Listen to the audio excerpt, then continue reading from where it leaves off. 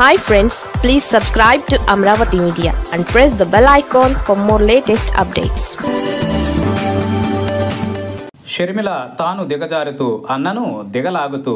YS Sharmila రాజకీయం ఆమెకు ఎంతవరకు కలిసి వస్తుందని తెలియదు కానీ ఇది ఖచ్చితంగా వైఎస్ జగన్కి అపారమైన నష్టాన్ని కలగజేస్తుందని అంటున్నారు. వైఎస్ఆర్ రాజకీయ వారసత్వంతో పాటు ఆయన ఆస్తుల విషయంలో గొడవ పడుతున్న అన్న చెల్లెళ్ళిద్దరూ వైఎస్ఆర్ ఆత్మకు శాంతి లేకుండా చేస్తున్నారని అసలైన వైఎస్ఆర్ అభిమానులు అంటున్నారు. ఈ విషయంలో ఎవరిది ఎంత తప్పు అన్నది పక్కన పెడితే ప్రతి ఇంటిలో రామాయణం ఉంటుంది. అది మాజీ ఎమ్మెల్యే రాచమలు ప్రసాద్ రెడ్డి చెప్పినట్లుగానే ఉంటుంది. అయితే ఆ రామాయణాన్ని రావణ కాష్టంగా కాకుండా ఎంత మేరకు తగ్గించుకున్నారు అన్నది కూడా చూడాల్సి ఉంటుంది. ఈ విషయంలో చంద్రబాబుని చాలా వరకు మెచ్చుకోవాలి.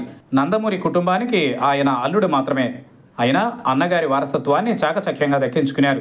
ఆ తర్వాత కొందరు దారికి వచ్చారు. కొందరు రాలేదు. అయినా సరే ఎండ్ ఆఫ్ ది డే చూస్తే ఈ రోజుకి చంద్రబాబే అన్నగారి వారసుడిగా మిగిలారు. అక్కడ కూడా వారసత్వం సమస్య ఉంది కానీ అయితే మరీ ఇంతగా వీధిలో పడలేదు అని అంటారు. ఇక వైఎస్ఆర్ వారసుల విషయంలో అటు జగన్ ఇటు షర్మిల ఇద్దరికీ పట్టుదల ఎక్కువే. పట్టుదల ఒక దశ దాటితే కొత్త ఇబ్బందులకు దారితీస్తుంది ఇప్పుడు అదే జరుగుతోంది.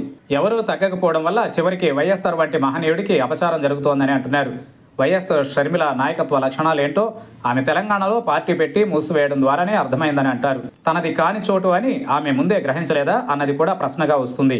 ఇక ఆడబిడ్డను అన్న ఆమె అక్కడే ఉండి పోరాడి సాధించుకోవాల్సింది.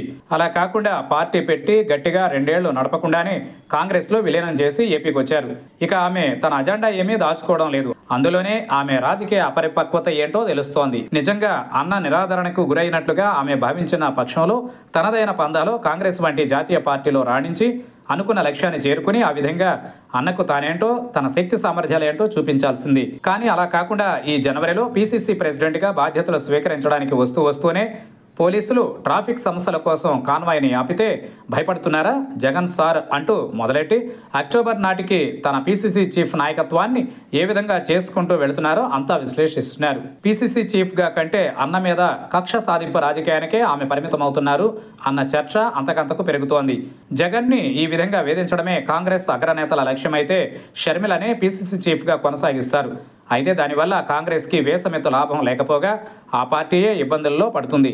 మరోవైపు చూస్తే షర్మిలకు కాంగ్రెస్లో పదవులు ఇప్పట్లో దక్కేలా లేవు అన్నది తెలిసిందే. రెండు వేల ఇరవై తొమ్మిది నాటికి కాంగ్రెస్ పరిస్థితి ఇలాగే ఉంటే కేంద్రంలో అధికారంలోకి వస్తుంది. ఏపీలో కాంగ్రెస్ అప్పటికి ఎంత కోలుకుంటుందో తెలియదు. కాబట్టి షర్మిల రాజకీయాలలో అధికార పదవులు అన్నవి ఎప్పటికి దక్కుతాయి?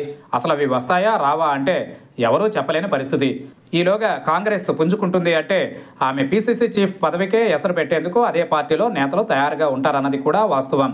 మరోవైపు చూస్తే షర్మిల ఈ తీరున చేస్తున్న రాజకీయం మూలంగా ఖచ్చితంగా జగన్కి భారీ నష్టం కలుగుతుంది. అది మెల్లమెల్లగా జనాల మీద ప్రభావం చూపిస్తుంది. ఇక వైసీపీ మీద అభిమానం పెంచుకున్న కరడు కట్టిన వైఎస్ఆర్ ఫ్యాన్స్లో కూడా పునరాలోచన మొదలైతే మాత్రం వైసీపీకి పూర్తిగా ఇబ్బందులు వచ్చినట్లే. ఏపీలో వైసీపీ పోరాడాల్సింది బలంగా అత్యంత పటిష్టంగా ఉన్న టీడీపీ కూటమితో. అయితే ఆ వైపు చూడనీయకుండా షర్మిల జగన్ ముందర కాళ్ళక బంధం వేస్తున్నారు. ఆయనకు ఈ ఇంటి చిక్కులు తీరేది ఎప్పుడు అంటే ఎవరు చెప్పలేరు. మరోవైపు చూస్తే ఇదే తీరున షర్మిల వర్సెస్ జగన్ వారు సాగితే మాత్రం షర్మిల తాను ఊబిలోకి దిగుతూ జగన్ను కూడా దిగలాగుతున్నట్లే లెక్క అని కూడా విశ్లేషిస్తున్న వారు ఉన్నారు. ఈ అన్నా చెల్లెలు సమరం సాగినంతకాలం టీడీపీ కూటమి హాయిగా ఉండవచ్చు. సమీపంలోకి కూడా వచ్చి పోటీ ఇచ్చేందుకు ప్రతిపక్షం ఉండదన్న నిబ్బరము ప్రదర్శించవచ్చు. మొత్తానికి చూస్తే వైఎస్ఆర్ వారసులు ఆయన రాజకీయ వారసత్వాన్ని కుటుంబ మర్యాదలకు కూడా ఇబ్బందులు తెచ్చేలా వ్యవహరిస్తున్నారని సగటు జనం అనుకుంటారు. అభిమానులు చేసే ఆవేదనలో నిజం ఉందనే అంటున్నారు.